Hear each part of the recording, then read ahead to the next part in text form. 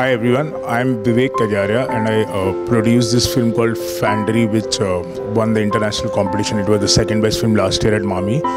This year I am back here in the India Gold competition section with a film called Siddhant which means principles. A good script automatically speaks for itself.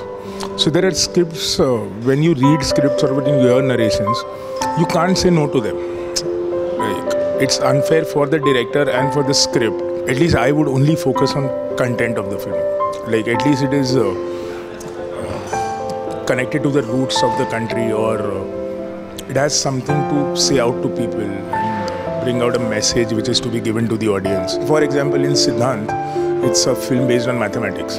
Even if four kids uh, come out and say that now they love mathematics, I'm happy with it. So that's the kind of uh, subject. And secondly, it has to be a little unique.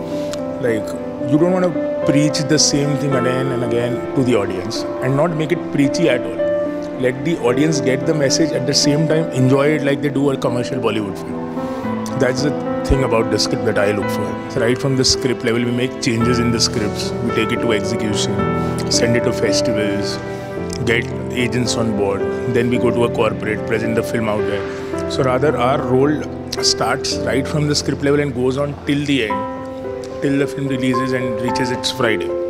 Uh, so this is something that we actually need to change overall in terms of what a producer is. everyone thinks that producer, okay, he's with money and he's just producing. What I've always concentrated on is making good, meaningful cinema. But if I get good response from the audience for that meaningful cinema, then I'm even more inspired to continue making those films.